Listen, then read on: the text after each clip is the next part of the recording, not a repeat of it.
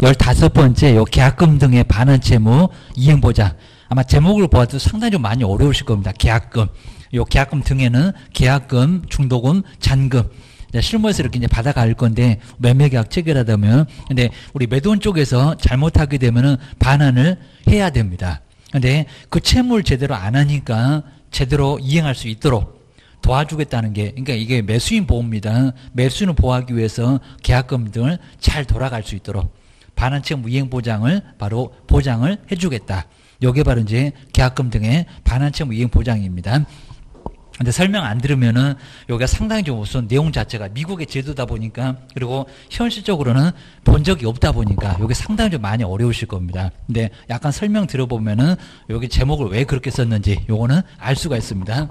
근데 제목은 정말 아주 잘 만들어 놨습니다. 전체를 이제 아, 바로 요약할 수 있도록 먼저 제목은 정말 많이 어렵습니다. 미국에서 오더니 그냥 물 건너 오더니 여기에 영어로 그냥 얘기한 것처럼 많이 어렵습니다. 계약금 등의 그다음 반환 채무 그러니까 반환을 매도인이 잘못하게 되면 더블로 해야 될 겁니다. 근데 그걸 안 하네. 요겁니다. 반환 채무 그다음에 이행. 그러니까 그 채무를 잘 이행하도록 도와주겠다. 요 이행의 보장. 정말 우리 매수인을 위해서 이행을 제대로 해줄 테니까 걱정 말아라. 이런 제도가 이제 계약금 등의 반환 채무 이행 보장. 한번 전체적으로 설명 드려보고 왜 이렇게 제목을 복잡하게 썼는지 설명 들어보면 금방 알 수가 있습니다. 자, 그럼 이제 한번 이제 매매계약 이렇게 체결한다고 생각해 보시면은 분명 이제 이해를 할 수가 있습니다. 먼저 첫 번째 여기 802호 한번 보실까요? 갑이라는 사람이 집을 판다. 매도인 한 5억이라고 한번 해볼까? 5억. 그 다음 이제 의리 요거 살게요 라고 해서 이제 우리 매수 매수하겠다고 해서 바로 매매 계약이 이렇게 성립하게 됐다는 겁니다. 자, 그러면 이제 여기서부터 이제 매매 계약이 성립하게 되면 계약금을 안 받게 되면요. 지금 병정 사겠다는 사람이 아주 줄줄이 서 있는데 다 보내고 매수인한테 사라라고 했을 겁니다. 자, 그러면 이제 먼저 계약이 성립했다고 계약금 계약금을 먼저 받아갑니다. 근데 꼭 그러라는 소리는 아닌데 요 계약금은 본 금액의 10% 그럼 동그라미 하나만 딱 떼면 될 거니까 5천 개입니다. 아, 계약금은 5천만 원. 그리고 이제 숫자가 아주 커질 거니까 막 10억도 넘고 할 거니까 그러면 계약금은 얼마 정도 받아야 되나 이런 것들은 꼭 먼저 생각해 봐야 되고 그리고 숫자 쓰는 것도 동그라미 숫자 해갖고 얼마 몇 자리 써야 되나 한 아홉 자리 나오겠네. 그 다음에 여덟 자리 나오겠네. 요게 정확하게 머릿속에 있어야 됩니다. 그 다음 이제 중도금은 꼭 그러라는 거 아닌데 한 반 정도 받잖아요. 그러면 한 3억 정도를 중도금을 받았고 뭐 돈이 이렇게 많지 않게 되면 뭐 1억으로 할 수도 있고 2억도 가능하고. 그래서 이제 3억으로 받았습니다. 그다음 이제 잔금을 그럼 이제 남아있는 돈인데 그럼 3억 5천 갔으니까 1억 5천 남았네요. 나머지 돈이 바로 1억 5천. 자, 그러면서 이제 우리 계약금은 언제든지 언제든지 계약을 해지할 수가 있습니다. 자, 그럼 이제 우리 매수인 손에서 바로 이제 5천이 갔을 건데 여기 5천. 근데 매도인이 갑자기 막 집값 뛴다고 계약을 못 하겠다고 하네요. 그러면 이 매수인 돈은 돌려줘야 되고 그다음에 받은 돈만큼 유약금입니다. 요걸 보태서 5천이니까 자 그러니까 이제 총 두 배다 이제 이런 소리입니다. 그러니까 우리 매도인 쪽에서 따로 준비할 돈은 5천만 원. 요건 그대로 돌려주니까 받은 돈만큼 보태세요. 라고 해서 총 1억을 1억을 이제 지불하게 되면 언제든지 계약을 파기할 수 있다는 겁니다. 갑자기 막 지하철이 생긴다 그러면 막 6억 7억도 갈 거니까 차라리 포기하는 게 더 이득이 될 수 있을 겁니다. 그 다음 이제 근데 우리 매수인 손에서 이제 돈이 갔는데 매수인 돈 준비 계속 못 한대요. 그러면 이 5천만 원 몰수 당하고 이런 의미를 바로 이제 계약금 받을 때 설명을 해 주셔야 된다는 겁니다. 괜히 막 중개보수 받으려고 아무 소리도 안 하고 그 막 이거 막 몰랐다고 나중에 우기면은 큰 손해가 발생할 수 있다는 겁니다. 보셔야 됩니다. 근데 그나마 여기는 파악이라도 되는데 중도금은 이행의 착수입니다. 이행. 해야 된다. 이행의 착수다 보니까 가야 돼. 이렇게 착수니까 안 갈 수가 아예 없다는 겁니다. 뭐 여기서 뭐 손해배상하고 못할까요? 아예 못하겠다고 빠질 수가 없습니다. 가야 된다고 하기입니다. 그리고 동의가 되면 합의가 되면은 엄청난 손해배상을 청구할 수가 있을 겁니다. 이 정도니까 함부로 이제 파기할 수 없다. 하다 중동 가면 이제 파기 안 되니까 잔금 치르고 그다음에 소유권 넘어가야 됩니다. 그리고 잔금 받으면 소유권 넘겨줘야 됩니다. 그리고 우리 매도인한테는 등기에 필요한 서류도 다 적어줘야 됩니다. 위임장, 인감증명서, 등기필 정보, 그다음에 나중에 신청서의 도장, 주민등록 초본 이런 것들이 다 필요하다고 등기법에서 배우는 것처럼 설명을 다 해줘야 된다는 겁니다. 아예 목록을 적어줘야 됩니다. 준비할 서류. 그래야 나중에 잔금 받고 넘기기 아주 편할 겁니다. 그 다음에 이렇게 잔금은 이행 완료입니다. 완전히 다 끝났다. 이행의 완료. 완료. 다 끝난 마당에서는 돈 주면 등기소리 줘야 돼. 아까 물건의 인돌시도 있었잖아요. 물건 넘겨줘야 돼. 이러면서 동시행으로 꼭 해야 됩니다. 돈이 먼저 가니까 물건이 안 오네. 이중 매매돼서 옆집에 소유권이 넘어가 버렸습니다. 큰 문제가 발생한다는 겁니다. 그 다음 이제 먼저 소유권을 먼저 넘겨주니까 그런 일 아예 없겠지만 넘겨주니까 잔금이 안 오네. 이러면 또 문제가 발생한다는 겁니다. 언제 또 소송 가냐고. 그 동시이행을 제대로 안 하니까 문제가 생겼지. 이런 소리입니다. 그럼 여기서 이제 한번 보실게요. 아까 이제 우리 매도인이 잘못됐다. 이거 생각해 볼까요? 매수인 말고요. 매도인이 잘못됐다. 자, 그럼 아까 더블로 이렇게 해서 1억으로 줘야 되는데, 네, 단 한 푼을 안 주네요. 정말 단 한 푼을. 이렇게 매도인 손으로 바로 가니까 매도인이 자기가 잘못해놓고 위약금도 안 주고 5천만 원 돌려줄 생각도 안 하고 배째라. 이러고 있다는 겁니다. 자, 이런 식으로 잘 안 돌아오니까, 잘 안 돌아오니까, 매도인 바로 주면, 안 돌아오니까 그 잘 돌아올 수 있도록 이행을 보장해 줄게요. 자, 그러면 우리 매도인 손에 바로 돈이 가니까 문제가 발생한다는 겁니다. 자, 그러면 매도인 주지 말고 맡깁시다. 은행 등에다가. 그러니까 이제 첫 번째 생각할 게 예치. 여기다 다시 한번 써볼 겁니다. 자, 먼저 매돈 주지 말고 돈을 맡깁시다. 이게 바로 예치가 나옵니다. 그러면 어디다가 예치할 건데, 누구 명의로 예치할 건데, 이런 게 미국의 제도는 정말 아주 좋은 제도가 있긴 합니다. 그래서 이제 예치 명의자 다시 한번 쓸 거고요. 그 다음에 예치할 기관. 그렇게 많지도 않습니다. 누구 명의로 통장 만들자입니다. 누구 명의로 매도 매수는 빼고 누구 명의로 어디다가 맡길 건데 여기 첫 번째 내용이고요. 그다음에 두 번째가 이제 중간 중간에 미리 수령 계획입니다. 여기 이제 우리 미리 수령은 요거 철저하게 매수인 보인데 여기는 매도인도 매도인도 고려를 좀 하자고요. 매도인 고려. 한쪽만 계속 나중에 이제 신경 쓰고 이러면 얘도 삐질 겁니다. 그리고 여기도 잘 보실게요. 요거는 A지. 그러면 우리 값도 집을 팔고 저기 6억짜리. 저 6억짜리 이제 더 큰지 여기 이제 어디 대전에다가 집을 또 하나 알아봤어요. 이제 세종시에서 이사 간다고 비집에 이런 식으로 그러면 요 집에도 6천 계약금 걸고 여기도 한 3억 정도 중도금 걸고 나머지 잔금 걸고 그러니까 여기도 계약이 진행돼야 된다는 겁니다. 근데 중간 중간에 돈을 못 찾는다. 그럼 애초부터 나 안 맡겨 이럴 겁니다. 애들 말로 좀 머리에 총 맞았냐 그럴 겁니다. 이러니까 중간 중간에 우리 매도인 생각에서 돈이 필요하니까 하다 맡기기 맡기는데 빼달라. 라고 해서 미리 수령도 가능하다는 겁니다. 중간중간에 돈 필요하면 언제든지 빼줄게. 일단 맡기자고. 그 소리입니다.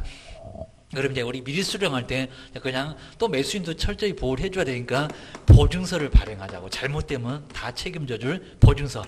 요 보증서 발행 기간이 따로 있고요. 그 다음에 그 보증서 발행 기관인데 보증서 발행해서 누구를 줘야 요거 중간중간 찾는다고 했잖아요. 그러면 누구를 줘야 찾을 수 있냐고 입니다. 그래서 이제 보증서 발행해서 보증서를 누구 줄 거냐? 보증서 교부. 정말 제도 잘 만들어 놨죠. 하다 매도인 바로 주지 말고 어차피 우리 매도인도 은행에다 맡길 건데 그냥 은행에다 바로 맡기자고. 그다음에 중간중간에 돈 필요하면 얘기하라고 찾아다가 줄 테니까 이런 식으로 해서 일단 먼저 맡깁시다. 그리고 중간중간에 찾을 수 있도록 또 합시다. 그럼 매도인도 안 섭섭하고 매수인은 보장되고. 이런 식으로 제도가 딱 두 개로 나눠볼 수가 있다는 겁니다. 보셔야 됩니다. 그럼 이제 다시 한번 써보겠습니다. 먼저 첫 번째, 예치. 이렇게 안 돌아오니까 예치하자고. 어차피 매도인도 은행에 맡길 건데 그럼 고르자고. 뭐 중간중간에 찾을 수도 있는데 맡기자고. 그 얘기입니다. 먼저 첫 번째는 그럼 이제 예치 명의자. 그러니까 우리 시험 문제가 저기 24회 때는 다음 중에서 예치 명의자가 아닌 사람 누구게요? 라고 여기 여러 사람이 나오니까 그 얘기입니다. 예치 명의자가 누구냐고 하여튼 매도 매수는 빼자고 얘기입니다. 자, 그러면서 이제 나 먼저 첫 번째는 우리 개업 공인중개사, 개업 공인사 명의로 맡겨놓을 수도 있고 개업 공인중개사입니다. 근데 자, 보통은 우리 부동산을 좀 싫어하는 사람도 많이 있습니다. 너만 말고 다른 사람 또 없냐? 이럴 수가 있을 거니까 개업 공인중개사 말고도 여섯 군데. 자, 두 번째 이제 항상 우리 법원 뼈대만 만들어 놓으니까 대통령령에서 그럼 나머지 명의자 정한 자고 대통령령이 정하는 자가 따로 있습니다. 대통령령에서 정한 자. 그러니까 이런 건 몰라도 되는데 여섯 군데 있다는 것만. 여기서 우리 시험 문제 나왔었습니다. 여섯 개 기관이 있다. 그입니다. 근데 이렇게 앞글자만 또 따보니까 자 먼저 이거 남의 돈이죠. 공금 신체 보관 이렇게 앞글자 따놓으시면 아주 편하게 여섯 군데가 딱 정리가 됩니다. 공금 신체 보관 그러니까 남의 돈이긴 한데 매도 매수인 돈이니까 정말 공금은 신체에다가 보관합시다. 이렇게 앞글자 따면은 여섯 개 기관 여기서 나옵니다. 다 먼저 공 공제 사업을 하는 공인주사 협회입니다. 공제 사업을 공제 사업하는 공제 사업을 하는 아까 보증 설정에도 나왔네. 공제 가입한다고. 공제 사업을 하는 자인데 여기가 이제 공인주개사 협회입니다 협회. 저기 이제 한 두 번째 세 번째 정도 더 가면은 공인주개사 협회도 한 문제 나온다고 거기도 자세히 볼 겁니다. 정말 작년도는 세 문제나 나왔습니다. 보통 한 문제가 나오는데 우리 단체 공인주개사 협회. 협회가 정말 해보려고 많이 시도합니다. 그리고 협회가 돈을 받을 수 있으니까 그입니 다 다음에 금, 금융기관입니다. 금융기관. 근데 금융기관은 그냥 은행을 얘기합니다. 저기 국민은행, 우리은행, 그 다음 농협. 이런 은행에다가도 맡겨놓을 수가 있고, 그러니까 돈을 잘 맡아줄 수 있는 은행 맨날 그뭐 예금 적금 받는데 은행이 제일 잘 맡아주고 쪽입니다. 여기 명의로 보관합시다. 입니다. 그리고 신 신탁업자입니다. 자 신탁업자, 신탁회사라고 해도 되는데 하다 우리 법률에는 신탁업자, 부동산을 맡아준다는 신탁업자, 뭐 돈도 잘 맡아줄 거예요. 우체국, 최신 관서입니다. 정말 은행도 있고 최신 관서, 우체국. 근데 우체국도 예금, 보험, 적금 다 취급합니다. 그러다 보니까 매도인의 매수인의 계약금 중동을 잔금 정도야 잘 보관해 줄 거예요. 그럼 금융위로 게임입니다. 그다음에 요 공금 시체 보관 여섯 군데는 예치 기관에도 나옵니다. 명의자도 있고 게임입니다. 그냥 금융위로 거기다가 그 얘기입니다. 그다음에 친구도 많이 다니잖아요. 보험회사. 근데 여기 뭐 보험회사는 뭐 생명보험, 화재보험 그런 거 안 물어볼 건데 보험회사도 가능하고 개인 또 은행 가셔갖고 계약금 등의 반환 채무 이행 보장을 모릅니까? 그러면 한정치산자 그럴 겁니다. 은행 하는 곳이 없고 또 보험회사다가 친구가 저기 삼성생명 다닌다고 니네 계약금 등의 반환 채무 이행 보장이니 그러면 저것도 한정치산자 공부 오래 하더니 정신 이상했다고 하니까 이제 아예 이런 쪽에는 아예 지금 하지도 않고 있습니다. 그러니까 거의 뭐 아예 그냥 의미는 거의 없습니다. 이게 하필이면 또 맡기는 돈이 들어가다 보니까 우리 매수인도 좋아 보이는데 당장 또 돈이 들어가야 되니까 나 그런 거 안 할게. 이럴 수가 있을 겁니다. 그리고 관, 관리 전문 회사입니다. 아직은 안 정해져 있는데 한 니치 등이 여기 들어갈 겁니다. 관리 전문 회사에다가도 맡겨놓을 수 있다. 근데 우리 시험 문제가 다음 중에서 예치 명의자가 아닌 것은 여기에 법원이 나왔습니다. 정말 법원은 아무리 봐도 안 나오잖아요. 공금 신체 보관에 법원이 있냐고 입니다. 그리고 또 여기다 무슨 공기업 이러면 안 됩니다. 저기 실무 교육 하면 공기업, 무슨 자산관리 공사 이런 거 나오겠지만 공기업은 그런 거 안 해. 무슨 계약금 같은 거 맡겨놓을까요? 게임다. 그리고 또 여기도 무슨 대학, 뭐 대학 같은 경우에도 대학이 무슨 이런 일을 하겠어요, 게임다. 뭐 실무교육이나 하겠죠. 그러니까 이런 쪽은, 그러니까 요건 이미 기출문제가 한번 나왔고, 근데 한 번 나온 문장은 꼭 절대 안 나올 정도니까 다른 문장 같은 것도 잘, 뭐 공기업, 사기업 여기 다 안 들어갑니다. 공금 신체 보관 여기다가 맡겨놓을 수가 있습니다. 두 번째가 여기 이제 명의만 정한 거고요. 예치기관, 그러니까 명의 정해서 어디다가 돈을 맡겨놓겠냐고 정말 이게 미국의 제도다 보니까 상당히 좀 어렵다. 근데 여기는 이제 예치기관에는 꼭 조심하실 게 개업 공인주사가 없습니다. 여기는 명의는 명의는 할 수가 있겠지만요. 개업 공인주사한테 돈을 바로 주면은 이건 정말 고양이한테 생선을 맡겨놓은 거나 다름없을 겁니다. 돈을 바로 우리 부동산에다가 직접 주면은 그 돈을 써버리지 놔두겠니? 이 얘기입니다. 그러니까 먼저 첫 번째, 그러니까 여기서 이제 개업 공인주사 요 한 사람 빼고 여섯 군데만 예치기관인데, 그러니까 먼저 그냥 금융기관. 우리 법률에서는 이제 세 개만 딱 써놓고 나머지 쓰기 귀찮으니까 등 그려놨습니다. 그리고 공제 사업을 하는 자, 공제 사업을 하는 공인중개사 협회 그입니다. 사업을 그리고 하는 자. 그러니까 여기 이제 따로 정리할 건 없고요. 하다 개업 하나 빼놓고 공금 신체 보관 여섯 군데, 여섯 군데입니다. 그다음에 신탁업자. 그러니까 요 세 군데가 제일 유명하니까 여기 우체국도 들, 예, 들어가긴 했는데 신탁업자 등 해놓고 이제 여기 등 안에는 총다 해서 여섯 개입니다. 총다 해서 여섯 개지. 개업 공인주사는 여기서 빠져라 그입니다. 예치 명의자는 넣어도 되는데 예치 기관에다가 돈을 바로 주면 개업공인사가 바로 써버리지 그 돈을 갖고 있겠냐 그입니다. 그러니까 예치 기관에는 우리 개업 공인중개사가 안 들어갑니다. 꼭 기억하셔야 됩니다. 두 번째가 이제 중간중간 아까 미리 수령 한번 봤네요. 미리 수령. 중간중간에 우선 수령인데 중간중간에 찾을 수도 있다는 겁니다. 우선 수령. 지금 당장 우리 매도인은 돈이 필요하다고요.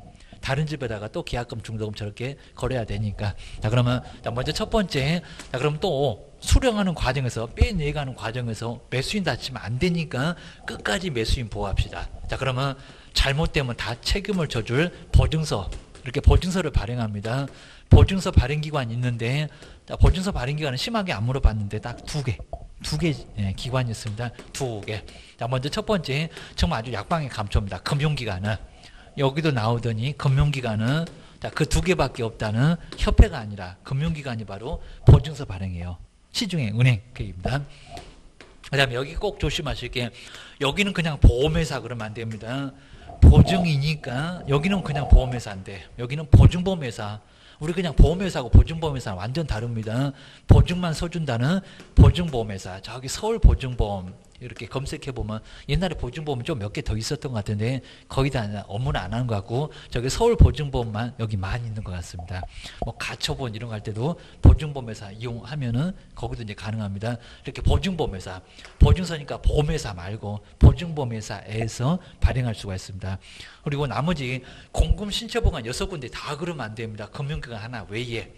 나머지 보증보험회사도 여기는 없으니까 예치기관하고 그다음에 보증서 발행기관 달라요. 조심하셔야 됩니다. 그다음에 두 번째 보증서 누구 줄 건지 여기 보증서 제일 많이 물어봤습니다. 돈도 못 찾냐 이럴 겁니다. 보증서 보증서를 누구 줘야 교부를 누구를 줘야 그러니까 예치 명의자를 줘야 찾을까요? 예치 기관을 가야 찾을까요?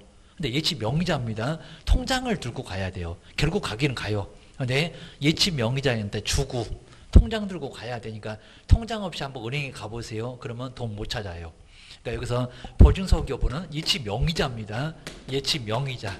그러니까 이 번지수 가장 많이 물어보겠잖아요. 예치 기관이 아니네. 그입니다.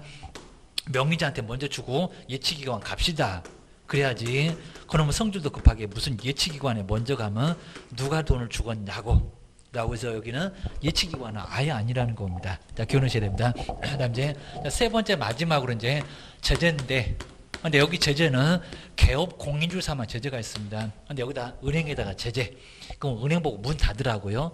전국에 아주 대혼란을 초래할 겁니다. 국민은행 다 문 닫으면 말이 안 될 겁니다. 그래서 이제 여기는 개업 공인주 회사. 그러니까 개업 공인주 회사만 좀 못 믿겠다는 겁니다. 개업 공인주 회사만. 그리고 제재가 있고요. 그리고 그 제재가 업무 정지였습니다. 업무 정지. 이 업무 정지라는 제재도 시험 문제가 이미 나왔습니다. 업무 정지. 과태료 아니요. 제재가 좀 세. 등록 취소까지는 아니라고 하더라도 한 사무소 1개월 정도로 문을 닫을 수가 있습니다. 그리고 별표가 1개월이다. 이거 해석으로만 가능하니까 이 별표 1개월까지도 시험 문제 나온 적이 있었습니다. 기출 문제 1개월. 그래서 이제 개업 공인중개사 한 명, 한 명. 그다음에 별표도 1개월. 그냥 한 명만 1개월로 우리도 6개월 때리면 우리도 가만 안 있을 거예요. 이 여섯 군데는 아무 제재가 없는데 개업공사만 만만하게 업무정지 때리냐고. 개업만 문제가 있지 여기 은행 같은 쪽은 믿을 수 있는데 여기다가도 우체국 문 닫아라. 그럼 오늘 택배 올 것도 안 올 겁니다. 보험회사 문 닫아라. 지금 사망했는데 보험금도 안 나올 겁니다. 여기는 문 닫게 할 수가 아예 없다는 겁니다. 여섯 군데는 믿을 수 있어. 근데 개업공사 한 사람은 못 믿겠다. 너는 사무소 문 닫게 할 거야. 게임다. 그 다음에 인출등이 있으면 거의 안 내봤는데 인출등에 약정을 하여야 한다. 약정 안 했을 때에는 업무정지 받을 수가 있고요. 자, 두 번째, 따로 분리해서 통장 하나 따로 만들어야 됩니다. 분리하여 관리를 해야 되는데 관리를 하지 않았을 때 그다음 세 번째 동의 없이 이건 너무 쉽게 나왔습니다. 동의 없이 막 인출했을 때 뭐 동의 없이 인출할 수 있다. 매도 매수인 동의 없이 막 인출을 한다고요. 그게 네 돈이니 이럴 겁니다.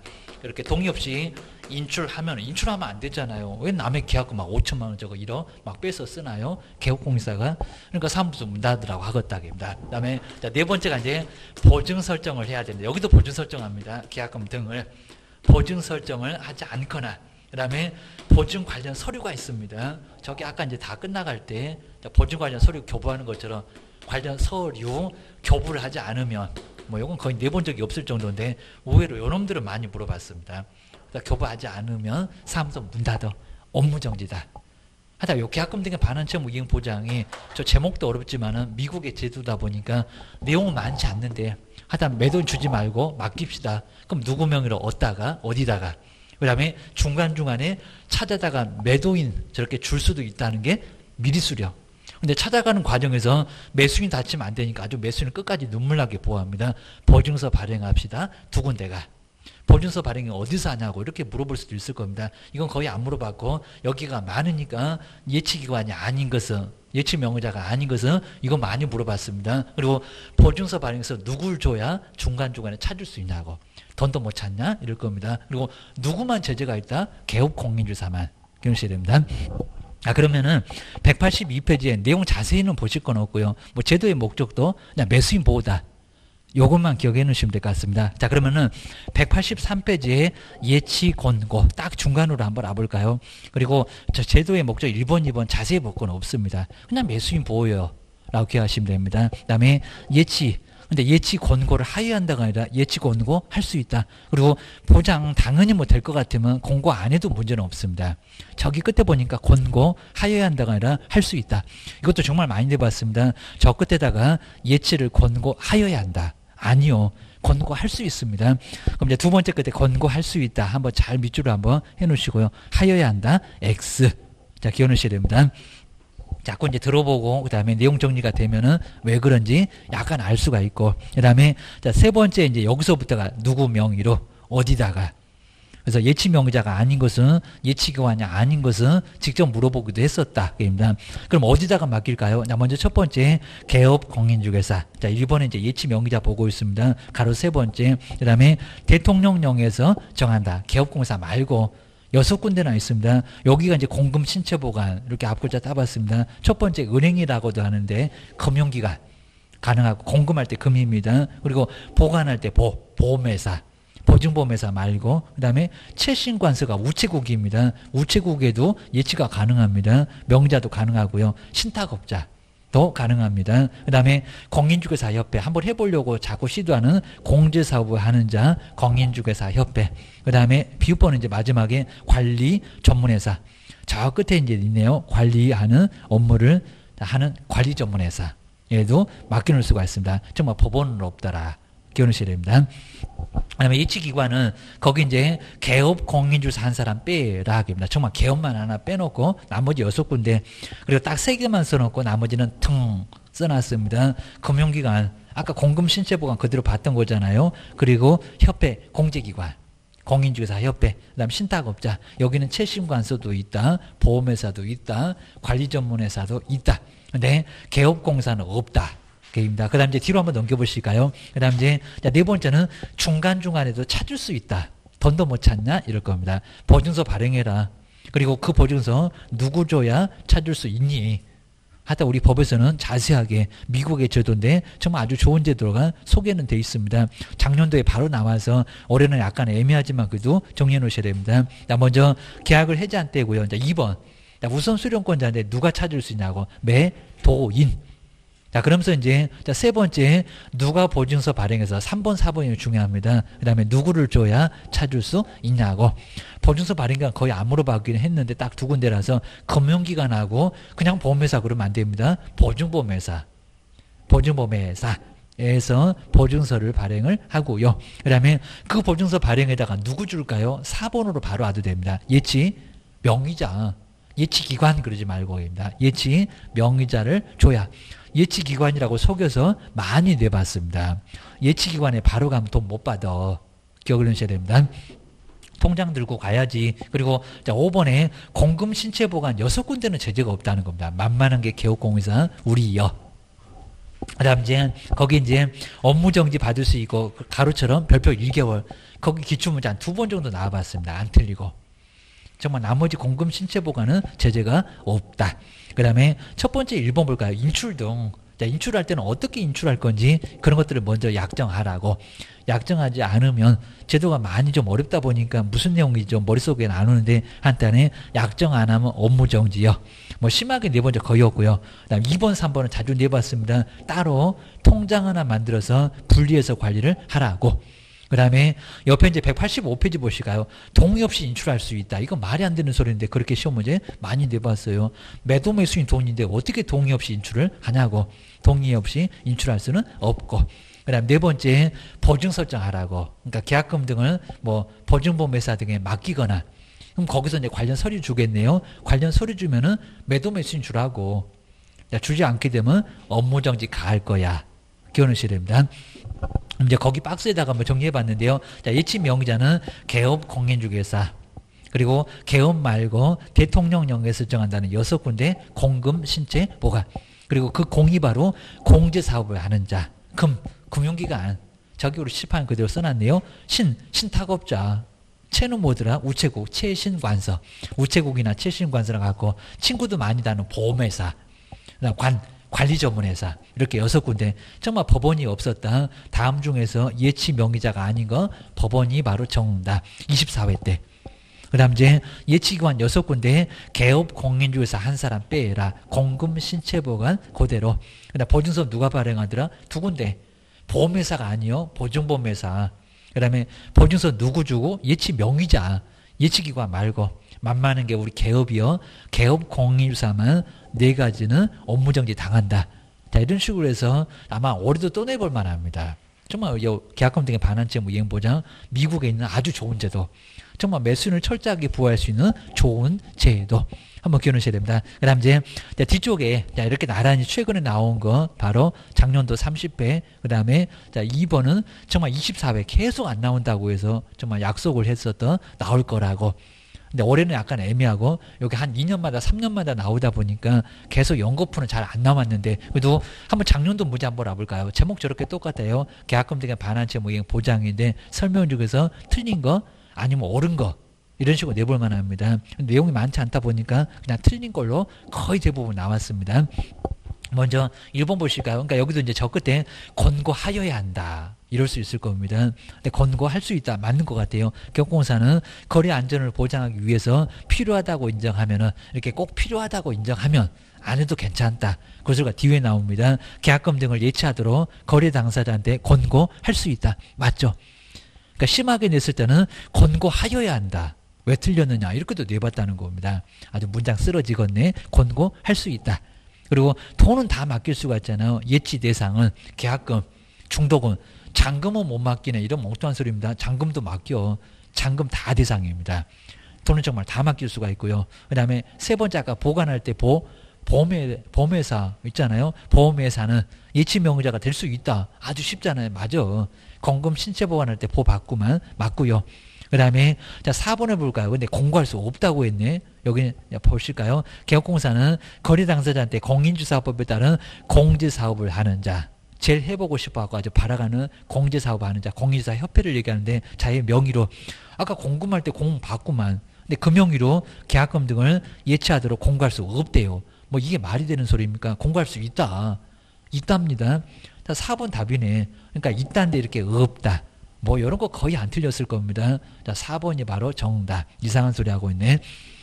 5번에 보실까요? 따로 분리. 아까 제재도 있었잖아요. 기업공사는 계약금 등을 통장 하나 따로 만들어서 자기 명의로 금융기관 등에 예치를 하는 경우에 자기 소유 예치금하고 따로 분리해서 저기 압류당하게 한꺼번에 거기다 맡겨놓냐고 아, 예치금과 분리해서 관리될 수 있도록 하여야 한다. 맞잖아요. 그렇게 안 하면 업무정지 때릴 거예요. 그 얘기입니다. 그 다음 이제 2번이 조금 더 쉬웠어요. 최근에 나와서 한번 나란히 소개해봤는데 계약금 등을 대통령령에서 정하는 자의 명의로 금융기관 등에 설명을 아주 자세하게 해줬잖아요. 예치하도록 거래 당사자한테 권고할 수 있는데 그 명의자, 그럼 예치 명의자, 예치 명의자에 속하지 않는 것은 뭘까요? 공금 신체 보관만 딱 써놨으면 알 건데 보험회사 들어가죠. 공금할 때 공, 바로 첫 번째 공, 여기 있네요. 공제사업을 하는 공인주사협회. 그러니까 요 2번이 당연히 예치명의자인데 아까 정답 4번 왜 또 예치명의자가 안 되냐고 예찰수로 공고할 수 있는데 그러니까 작년도 문제 틀렸다고 2번도 맞고 근데 법원, 법원이 없잖아요. 법원. 법원은 3번이 바로 예치기관에 없었어.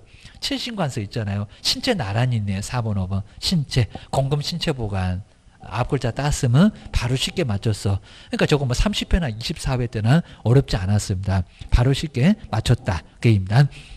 그다음 이제 187페이지에 여기 이제 많이 어렵진 않을 건데 뭐 얘는 그냥 무조건 나올 정도인데 하필이면 또 여기 개정된 것도 있어서 이제 오늘 마지막으로 볼 건데 187페이지에 요 187페이지에 금쟁이 자 금쟁이는 꼭 나옵니다. 근데 금쟁이가 원래는 일곱 개였다가 우리가 이제 행운의 숫자가 7인데 불행의 숫자 이랬는데 이제 10가지로 10가지로 아주 이렇게 많이 늘어났습니다. 그리고 이제 그 늘어난 게 7번까지 있었다가 8번, 9번, 10번이 늘어났는데 그게 3년이야 징역으로 그러니까 징역이 1년하고 3년 있는데 3년으로 아주 크게 늘어났습니다. 그리고 이제 여덟 번째, 아홉 번째, 열 번째 그 세 개가 1년이라고 속여볼 만할 건데 올해 아마 금정에는 처음으로 나오는 거니까 이제 그 8번, 9번, 10번이 그걸 아마 쉽게 1년이라고 속여볼 것 같은데 금정이가 올해는 좀 쉽게 나올 것 같아요. 예상이 거의 됩니다. 뭐 그냥 거의 첫 해나 다름없는 여덟 번째, 아홉 번째, 열 번째를 복잡하게 낼까요? 자, 처음에는 그렇게 복잡하게 안낼 겁니다. 자, 그럼 이제 자, 먼저 첫 번째는 요 형벌만 갖고도 시험 문제 내봤는데 1년 그러니까 옛날엔 1년이야 징역이 4개고 3년이 3개였는데 이제 역전됐습니다. 1년이하의 징역. 그리고 형벌도 시험 문제 물어봤습니다. 1년 이하의 징역 또는 천만 원 이하의 벌금 받을 수 있는 자, 금쟁이 4개. 꼭 개수를 먼저 잘 겨누셔야 됩니다. 아, 천만 원이야. 그래서 이제 제가 우스갯소리로 1학년 일반에 입학합니다. 요소리가 1년에 천만 원이야 벌금을 받을 수가 있다는 겁니다. 정말 1년 동안 교도소 살아야 될 정도로 크게 문제가 됩니다. 그리고 자, 하다 징역 안 받으면 벌금이라도 낼 건데 300만 원 이상 벌금 받으면 등록 취소가 돼요. 그것도 절대적으로 3년 동안이야 영업을 못 합니다. 자, 천만 원 이하의 벌금을 정말 돈도 깨지고 3년을 영어 못하고 정말 아주 난리가 나버릴 수 있을 거니까 4개. 금정이 4개 꼭 끼워놓으셔야 됩니다. 자, 그럼 이제 나중에 그 4개가 매매 알면 초과판다. 이렇게 앞글자 따볼 겁니다. 그리고 또 1년이야 징역 한 문제가 또 따로 나오는데 꼭 금쟁에서 정답이 많이 됩니다. 자, 먼저 첫 번째 중개대상물. 근데 첫 번째 우리 중개대상물도 시험 문제에서 저기 앞쪽에서 중개대상물 토지 건물 봤잖아요. 자 그러면 우리 시험 문제가 토지의 매매업 이렇게 따갖고 토지 맞잖아요. 아니면 뭐 건물 토지하고 이제 건축물인데 건축물도 중개사물이 들어갑니다. 임모. 자, 요 두 개는 이제 따로 떼갖고 시험 문제도 내봤는데 임모. 그 다음에 중개 거의 잘 안 한다는 공장재단, 광업재단, 공장재단, 광업재단 요게 바로 중개대상물입니다. 하나씩 하나씩 떼갖고 토지의 매매업, 건축물의 매매업, 임목의 매매업 그렇게도 낸다는 겁니다. 그래서 이제 공장재단, 광업재단, 공장재단, 광업재단 요게 바로 이제 중개대상물인데 이 중개대상물의 매매를 억울하면 아예 안 된다는 겁니다. 그러니까 우리가 할 일은 사고 파는 것을 돕는 거지 우리가 사고 파는 게 아니라는 겁니다.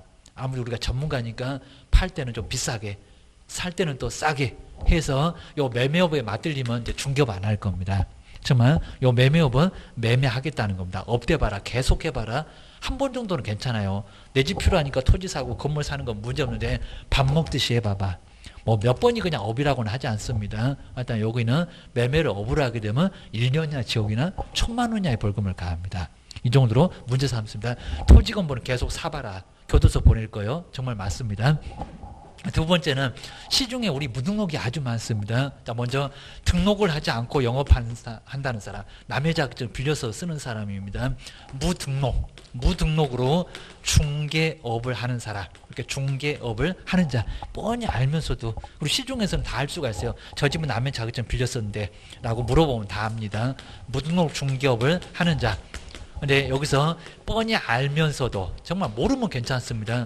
포인트가 여기입니다. 알면서. 모르면 괜찮을 건데 알면서도 중개를 의뢰받거나 그러니까 그 무등록이 물건 준다고 하니까 낼름 받으시면 안 된다는 겁니다. 중개 의뢰 받았을 때, 그다음 명의 이용, 명의를 막 이용하라고 합니다. 명의를 이용하게 하는 것은 금쟁이로 1년 이하 지옥이나 천만 원 이하 벌금을 가하겠다는 겁니다. 그러니까 무등록한테는 물건 받지도 말고요. 그리고 명의 주지도 말아야 됩니다. 막 주고받고 그 무등록하고 뭐 친구 먹으면 이것도 교도소 갈 수가 있다는 겁니다. 근데 모르면 모르는 건 거의 있기가 어려울 건데 모르면은 금쟁이는 아닙니다. 그러니까 무등록이라는 거 모른데도 금쟁이다가 차라리 죽으라고 해라. 너무 가혹하니까 뻔히 알면서도 중개를 받고 명의를 이용토로 가는 거 막 주고받고 하면은 교도소 보낼 거야. 딱 기다려 이럴 겁니다. 세 번째는 뭐 사례가 됐건 증여가 됐건 어떤 명 목이 됐건 중개 보수를 그리고 실비를 중개 보수 이제 다음 주에 배우겠네요. 중개 보수 실비를 초과해서 받으면 절대 안 된다는 겁니다. 초과하여 이제 딱 정해진 것만 받아야 됩니다. 초과하여 그리고 금품을 여기 이제 문장은 안 바꿀 건데 자 금품을 받는 행위 이렇게 금품을 받으면 그 받은 행위를 금쟁이로 보겠다는 겁니다. 근데 꼭 조심하실 게 초과해서 일단 받았고요. 이걸 돌려줬습니다. 그래도 금쟁이입니다. 어떤 경우도 정해진 것만 딱 받아야 된다는 겁니다. 아니면 중개보수를 잘못 계산해서 한 대 막 초과할 수도 있을 겁니다. 잘못 계산해서 받아도 금쟁이 다 들어갑니다. 그러니까 절대 안 봐준다는 겁니다. 근데 이거 예배가 없어요. 뭐 합의를 했으면 괜찮다, 안 괜찮다니까요. 1년이나 지옥이나 천만 원이나 벌금 받아야 됩니다. 이 정도로 아주 크게 문제가 됩니다. 그 다음에 거짓된 언행이라고 합니다. 중개사물의 중요상에 관하여 문장은 안 바꿀 거고요. 거짓된 언행, 그러니까 거짓말이라는 소리입니다. 등 자, 거짓된 언행 등으로 중개 의뢰인의 그러니까 요 세 번째 네 번째가 많긴 할 건데 여기가 조금 어렵습니다. 중개 의뢰인 판단을 중개 의뢰인의 판단을 그르쳤다. 제대로 판단했으면 거래를 안 했을 건데 판단을 막 그르쳤대요. 안 좋은데 막 개발도 안 되는데 막 개발된다고 속이면 절대 안 된다는 겁니다. 막 임야를 막 비싸게 팔아주겠다 이런 소리 하시면 안 됩니다. 이렇게 판례로 많이 나와 있다는 겁니다. 판단을 판단을 그르치는 거짓말 하니까 판단을 그르쳤을 겁니다. 그르치는 행위. 그러니까 제대로 들었으면 안 샀을 건데 막 속여가지고 사, 기하게 되면 이것도 판단을 그친다고 해서 2년 이하 지역이나 천만 원 이하의 벌금을 받습니다. 그러면요, 앞글자만 따면 매매, 매매 알면, 그리고 초과해서 판단한다. 정말 매매를 알더니 초과해서 판단하네. 요게 2년 이하 지역이나 천만 원 이하의 벌금 딱 4개입니다. 4개. 기억하셔야 됩니다. 그 다음 이제 여기서부터 이제 3년 이하 징역입니다. 자, 이건 아주 큰 문제가 됩니다. 3년. 3년 이하의 징역이면 좀 아예 그냥 유치원이 아니라 중학교를 졸업할지 모릅니다. 3년 이하의 징역. 그 다음에 옛날에 요건 이제 2000년에 지금 3천으로 늘어났습니다. 3년 이하의 징역에다가 금액도 딱 3천만 원입니다. 요건 1학년 일반. 그나마 천만 원인데 여기는 3분의 1밖에 안 되는데 요건 3년이요. 이법상 최고형입니다. 3천만 원 이하의 벌금을 벌금을 받을 수가 있는데 요 놈이 원래 3개였다가 이제 더 늘어나서 6개나 돼 버렸습니다. 이 정도로 3년짜리입니다. 나머지 첫 번째는 증서를 증서가 이제 저기 이제 청약 저축 이런 것들입니다. 증서를 중개하거나 그러니까 여기도 이제 중개가 나오고 그 증서의 매매업이 나오는데 여기는 중개대상물의 매매업이고요. 여기는 증서. 그러니까 통장 같은 거 이런 것들을 중개하거나 여기도 매매를 그러니까 중개대상물의 매매업이면 차라리 1년이야 징역인데 증서 매매업은 3년이야 징역입니다. 3배가 더 크다는 겁니다. 아주 오랫동안 교도소 보낼 거예요. 문제가 됩니다. 뭐 증서는 주택법에 배우면 다 알게 되니까 크게 걱정 안 해도 되고요. 그다음 두 번째 시험 문제 제일 많이 내봤습니다. 중개 의뢰인과 직접 거래하거나 이런 소리입니다. 그러니까 여기서 이제 직접 거래는 판다고 하니까 내가 살게. 산다고 하니까 내 거 사봐. 이게 바로 직접 거래입니다. 큰일 난다는 겁니다. 중개 의뢰인과 무슨 거래하거나 직접 거래하거나 직접 거래에서는 아예 안 된다는 겁니다. 그 다음에 쌍방 대리. 쌍방을 다 대리합니다. 여기 뭐 그럴 이유가 거의 없을 건데 괜히 바쁘다고 매도인에게도 대리권, 매수인에게도 대리권. 우리 민법에서 대리 배우실 겁니다. 쌍방을 다 대리하면은 이게 손해입히니까 이게 3년입니다. 이게 별거 아닌 것 같은데 요놈이 3년 이하의 징역이고 시험 문제도 제일 많이 내봤습니다. 요거 3년짜리네. 그리고 직접 거래 말고 다른 기업공사를 통하면 간접 거래로 문제가 없고 일방 대리는 문제가 없고 자, 우리 교재서 한번 다시 한번 볼 겁니다.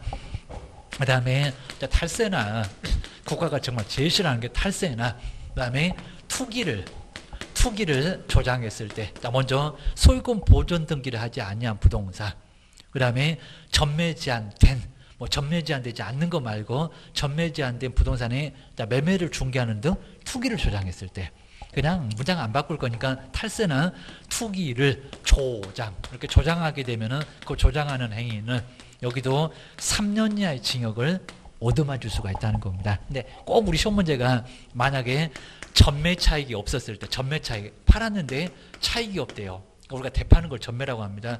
전매 차익이 없는 경우도 금쟁입니다. 그러니까 이런 문장이 넘어가시면 안 됩니다. 여기 있잖아요. 조장. 돈 얼마나 벌었냐 이거 안 물어본다는 겁니다. 그렇게 시도만 해도 오히려 손해가 나서도 3년이나 징역을 때려버립니다. 아주 크게 문제가 된다는 겁니다. 전매 차익이 없는 경우도 근데 없는 경우는 금쟁이 아니라고 하는데 아니라고요. 없는 경우도 투기 조장이고 경우도 금쟁입니다. 3년 이하 징역 받는데 똑같으니까 여기는 교도소 갈 준비해라. 3년 보내겠다. 이런 소리 합니다. 이 문장이 넘어가면 안 됩니다. 전매차익이 없는 경우는 금쟁이 아니다. 아니되니까요. 그것도 금쟁이다. 아주 크게 문제가 돼. 그리고 이제 여기 네 번째부터 잘 조심하실 게 이제 여기는 첫 번째 부당한 이득을 얻거나 이렇게 부당한 이득. 근데 문장 아마 쉽게는 안 바꿀 겁니다. 그 다음에 뒤에 내용이 좀 많아요. 부당한 이득을 얻거나 제3자한테 부당한 이득을 얻게 할 목적으로 거래가 완료된 것처럼 꾸미는 등에서 중개사물의 시세에 부당한 영향을 주는 것. 문장이 아주 엄청나게 길어서 상당히 좀 골치 아픈데 그거 다 뭐 우리가 주관식 아니니까 쓸 필요는 없을 거고요. 막 부당한 이득을 얻는데요. 부당한 이득을 얻었을 때 3년이나 지금 없던 맞습니다. 이게 없었다는 겁니다. 올해부터 처음 시험장에 들어간다. 기원하셔야 됩니다. 그리고 이제 요 다섯 번째가 단체를 막 구성한다고 합니다. 이게 담합입니다. 제가 뭐 작년도 뭐 이렇게 수업할 때도 뭐 저기 해운사 비해운사 편갈라 갖고 아주 쇼를 한다고 했는데 요 단체를 단체를 구성해서 담합을 한다고 합니다. 담합. 담합. 자, 이런 식으로 이제 개론 등에서 이렇게 담합 같은 거 잘 나올 건데 담합을 해서 우리 저기 막 대기업에서 막 담합해가지고 막 금액을 막 올리거나 내거나 이런 행위 많이 하잖아요.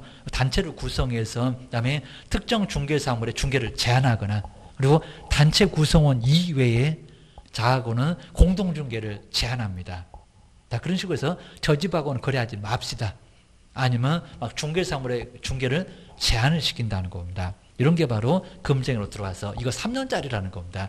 아마 분명히 4번, 5번에다가 1학년이다. 이렇게 속여볼 만합니다. 그 다음에 여섯 번째는 조심하실 게 여기는 우리 개업공사인데 여기는 누구든지 그랬으니까 일반인들이 얘기합니다.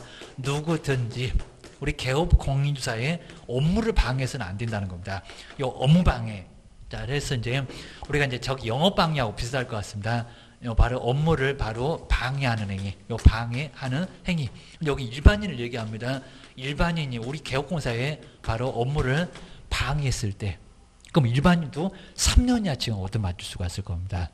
그래서 그리고 이제 여기도 또 다섯 개가 나오긴 나옵니다. 그래서 무슨 제한을 하거나, 막 제한을 하거나, 그다음에 뭐 차별을 하는 경우도 있을 겁니다. 아니면 또 유도 같은 걸 하거나, 아니면 또 강요를 하거나, 아니면 또 네, 뭐 나중에 이제 표시 광고 같은 것을 막 방해를 합니다. 이런 것들, 이런 것들이 바로 이제 바로 개업 공유사의 업무를 그러니까 여기서 시세에 영향을 줄 목적으로 합니다. 업무를 방해하게 되면 여기도 3년 이하의 징역을 이제 일반인도 받을 수가 있다는 겁니다. 이런 게 아예 없었다. 입니다. 자, 특히 이제 요 세 개가 지금 여기도 써놨지만 3년 이하의 징역, 하다 1학년 아니다. 아마 올해 간단하게 여건 1학년이다고 속일 건데 아니라고 매매 알며 초과한다. 요 네 개만 1학년이고 여기 다 3학년이요. 그것만 잘 기억을 해놓으셔야 됩니다. 자, 그러면 이제 그 뒤에 바로 이제 187페이지 금쟁이 정말 아주 많이 늘어나서 33조. 자, 1번부터 쭉 해서 9번까지는 그러니까 1번부터 4번까지가 1학년 일반.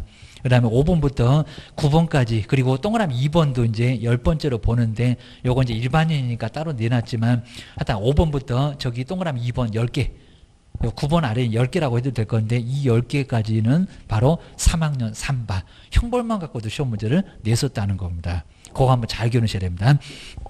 뒤로 한번 넘겨보실까요? 자, 오늘은 한번 간단하게 자 바로 이제 형벌도 이렇게 정리해놨네요. 1학년 1반 4개.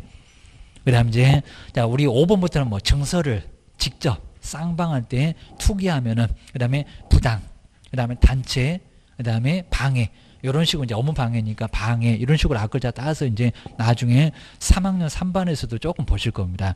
오늘은 그냥 간단하게 내용만 보고 지나가셔야 됩니다. 나 먼저 189페이지에서 내용은 자세히 안 내요. 먼저 첫 번째 중개 대상물 토지나 건물 같은 것을 매매로 했을 때입니다. 우리 시험 문제가 토지의 매매요. 2번에다가는 건물의 매매요. 다 금쟁이라고 그 중개상물을 떼가지고도 시험 문제 내본 적이 있었습니다. 매매로 오브라는 것은 금쟁이로 문제가 된다는 겁니다. 절대로 중개상물은 매매를 오브로 해서는 안 된다. 1년이나 지옥이나 천만 원이하의 벌금을 갈 수가 있습니다. 그 다음에 대신에 뭐 교환, 그 다음에 임대업은 금쟁이가 아니다. 저 매매업만 매매. 하니까 요 매매업만 금쟁입니다. 그 이제 뒤로 한번 넘겨보실까요? 뻔히 알면서 무등록이라고 뻔히 알면서도 막 중개를 받는다. 자, 2번 190페이지에서 딱 두 번째 보시면 저 형벌만 1학년 일반이라는 거 아까 매매하면 초과판다. 네 개는 1학년 일반이었습니다. 자, 먼저 중개 사무소 개설 등록을 하지 않고 중개업을 영위를 하는 자. 속칭 무등록 중개업. 계획입니다. 그런 자인지를 그 뻔히 뭐 한다고 그 사실을 알면서 좀 이상하게 떨어지만 좀 알면서가 아주 중요한 포인트입니다. 모르면 모르면 금쟁이가 아니라는 겁니다. 근데 우리 시험 문제가 모르는 경우도 금쟁이다. 차라리 죽으라고 하세요. 그래서 모르면 문제 안 삼을 게 중개 의뢰 받거나 그에게 자기의 명의를 이용토록 하는 것 금쟁이로 1년이나 지옥이나 천만 원이나의 벌금을 받을 수 있다는 겁니다. 그 다음에 옆으로 한번 와보실까요? 191페이지에 세 번째, 요 3번하고 4번 같은 게 실무 때 아주 많습니다. 사례, 증여, 그 밖에 어떤 명목이 됐건 간에 뭐 합의하면 괜찮다. 너무 엉뚱한 소리입니다. 돌려주면 괜찮다. 아니라니까요. 어떤 명목이 됐건 간에 중개 보수나 실비를 초과하여 금품을 받았을 때 그러니까 이렇게 받으면 그랬으니까 돌려줘도 금쟁이라는 겁니다. 모르고 받아도 금쟁이요. 아주 크게 문제가 되니까 절대 받으면 아예 안 된다는 겁니다. 누가 뭐 초과해서 뭐 달라고 하기도 줍니까? 게임다. 오히려 막 깎아달라고 하죠. 게임다. 그 다음에 가로 2번에 보시면 자 금쟁에 해당되는 판례가 쭉 나와 있습니다. 진짜로. 아주 많이 나와 있으니까 걸리면은 교도소 간다. 그 정도로 아주 크게 문제가 됩니다. 여기도 뭐 시험 문제 뭐 판례는 심하게 안 내니까 한번 3번. 그 다음 뒤로 한번 넘겨보실까요? 그러니까 요 4번까지. 그 다음에 왼쪽에 있는 것도 좀 간단하게 마지막은 뭐 형벌은 1학년 일반이다. 요 정도 아시면 될 것 같습니다. 요즘 이제 순가 중개 계약 저런 건 이제 거의 안 내다시피 하다 보니까 참고만 한번 해 놓으시고요. 그 다음에 193페이지에서 네 번째 당해 중개사물의 거래상의 중요상에 관하여 아마 실무에서는 연놈이 더 많을지 모릅니다. 금쟁이는 거짓된 언행, 막 어거지로 팔려고 거짓된 언행 그 밖의 방법으로 중개는 뭐를 걸쳐놨다고요? 판단을 제대로 판단했으면 거래 안 했을 건데 판단을 막 그르쳐놨다는 겁니다. 요게 금지 행위다. 그냥 거짓말이다. 이 정도만 생각하시면 됩니다. 그 다음 이제 2번처럼 막 사례 같은 것도 옛날에는 조금 나오긴 나왔었는데 금방 눈에 아주 띕니다. 막 두 배로 팔아주겠다. 임야가 그렇게 쉽게 팔리냐? 나 팔지도 않을 건데 근데 팔아주면 괜찮습니다. 근데 못 팔아주니까 금쟁이다. 이 정도로 문제가 됐었던 판례가 정말 엄청 많아요. 그다음 이제 아래쪽에 금쟁이 해당되지 않는 판례가 몇 개가 있지만 거의 압도적으로 다 금쟁이입니다. 자, 그러니까 거짓말하지 마세요.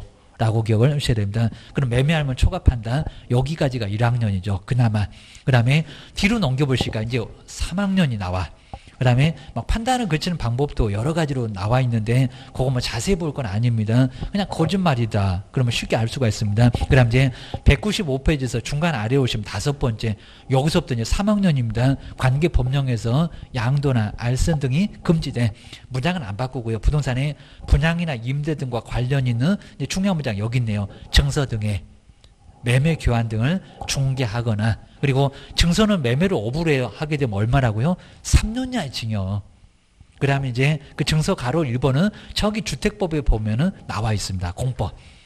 우리 뭐 증서가 뭐냐 이 정도 거의 안낼 정도니까 제일 아래 나와 있네요. 청약 저축.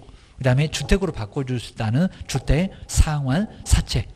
자, 뒤로 한번 넘겨보시고요. 자, 공법 오다가 다 보게 되면, 자, 보게 되니까 여기는 쉽게 알게 됩니다. 그 다음에 주택 조합원으로서의 증서, 그 다음 무허가 건물 확인서, 이런 것들이 증서에 해당된다는 겁니다. 저거 3년 이하 징역 얻어맞아 중개하면은 정말 크게 문제가 됩니다.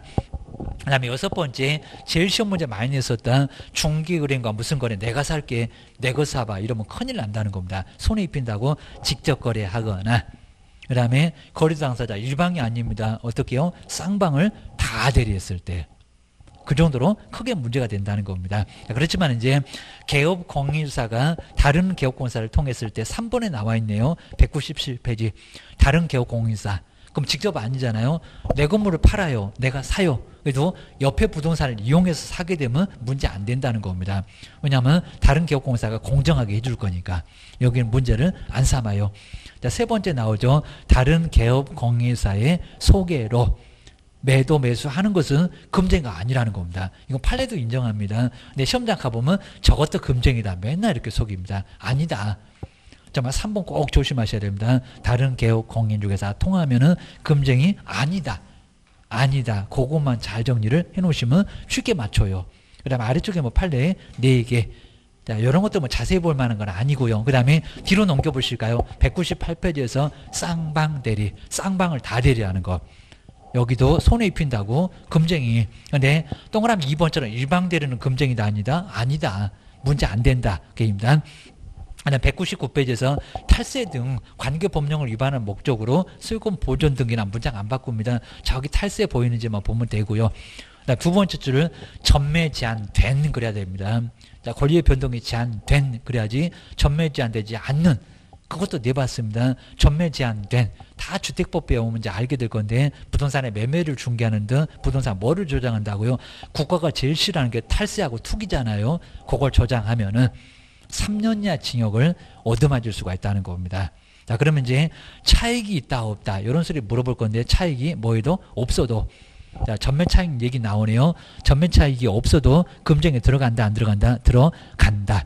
하여튼 차익 여부는 절대 안 물어본다는 겁니다. 자, 모두 금쟁이니까 3년 이하 징역을 얻어맞으니까 조심하세요.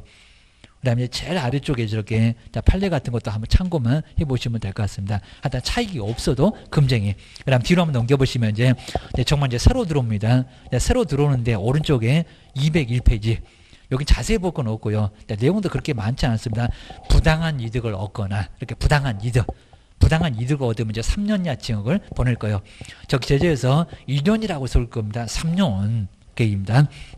문장은 안 바꿀 거고요. 그 다음에 아홉 번째, 막 단체를 구성해서 특정 중개대상물에 대한 중개를 제한을 하거나 아니면 단체 구성원, 그 구성원들끼리 막 짜고 지하고는 절대 공동중개하지 말어 막 이럴 겁니다. 막 학원 동기들끼리만 이렇게 한다든지 그것도 문제가 될 겁니다. 공동중개를 제한하는 거. 편먹는 거, 똘똘 뭉치는 거, 이것도 3년 이하 징역을 가하겠다는 겁니다. 그러니까 여기 지금 여덟 번째, 아홉 번째 요놈을 1년 이렇게 속일 겁니다. 아니요, 3년이요. 이 법상 최고용으로 교도소 보낼 거요. 그다음 열 번째, 요거 일반인들을 얘기합니다. 누구든지 시세에 부당한 영향을 줄 목적으로 개업 공사의 업무를 방해하는 거. 저기 업무를 방해. 거기다 한번 밑줄 한번 해놓으시면 좋을 것 같습니다. 그러니까 8번은 부당한 이득에다 밑줄 한번 해놓으시고요. 9번은 단체로 구성. 그러니까 그런 문장만 잘 보시면은 내용 이해할 수가 있습니다. 그 다음에 열 번째는 업무를 방해, 업무 방해, 일반인이 3년 이하 지형을 가할 거야. 그 다음 이제 뒤로 보시면은 이제 2번에 나와 있습니다. 업무 방해하는 바로 이제 다섯 개 하나가 좀 빠지긴 했는데 다섯 개가 바로 요 사유 사유는 자세히 안 낼 겁니다. 그래서 이제 금쟁이 지금은 좀 많이 어렵고 할 거니까 특히 8번, 9번, 10번 3년이라는 것만 3년이라는 것만 정리를 잘 해놓으시고요. 그리고 저기 금쟁이로 나온 기출문제 27회 때는 이건 정말 아주 쉬웠습니다. 네, 올해는 약간 어렵게 나올 가능성이 좀 있는데 한번 참고만 한번 잘 한번 해놓으시면 좋을 것 같습니다. 그 다음에 OX 문제하고 나 금쟁이는 한번 다음 주에 요거 조금 지금은 어려울 것 같으니까 우리 너무 중요하니까 요거는 다음 주에 한번 꼭 한번 보고 내용 정리 한번 해보고 다시 한번 예, 한번 기억을 한번 해보겠습니다. 자 고생 많으셨고요. 이제 다음 주에 한번 저희들 다시 나와보겠습니다. 고맙습니다.